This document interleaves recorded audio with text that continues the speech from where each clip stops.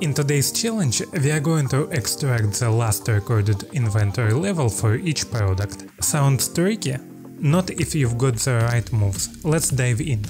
First things first, we need to get our data into Power Query. This is where the fun part begins. Let's start by using group by option, it's much more powerful than it looks. We are going to use it to group our products, but here is the trick. Instead of the usual sum or count, change the operation to all rows. Why? Because we are going to unleash some Power Query magic. Now check this out, we've got nested tables for each product. Let's give our new column a proper name and delete all the extra stuff after the underscore symbol.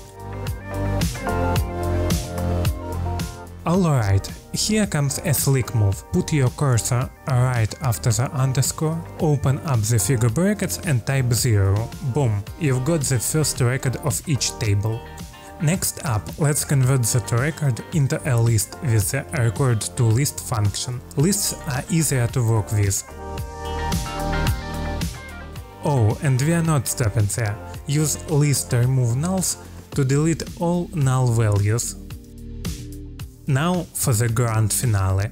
Use list last to snatch the last value from our list. Just like that.